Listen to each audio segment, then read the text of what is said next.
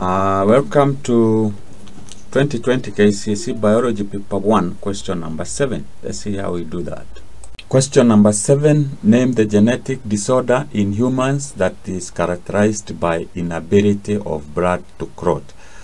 Uh, so when uh, when when you talk of blood clot, it is when when you are injured, uh, where the blood is coming out, it forms a solidify kind of, so that it prevent further liquid blood from getting out of your body. So that is clotting.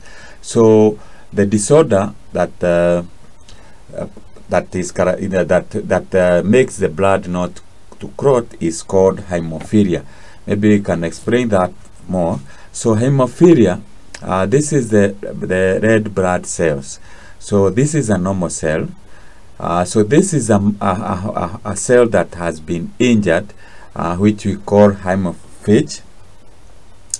Uh, this is now the clotting takes place here, so it seals off that uh, that uh, section where the blood is coming out. So this is a healthy person. Uh, this is a normal blood cell. If it, when it is injured, we say it's a hemophage, and now it is due, due to that uh, characteristics or that uh, uh, that inability of blood to clot, the blood will continue coming out and that condition is now what we call hemophilia. So the answer that you put here is hemophilia.